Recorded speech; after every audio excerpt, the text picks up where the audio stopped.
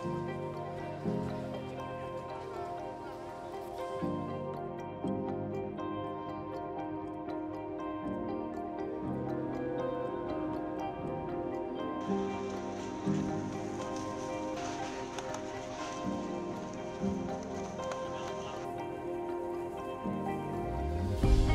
makanan yang bernutrisi adalah penting untuk uh, setiap manusia untuk meneruskan kehidupan.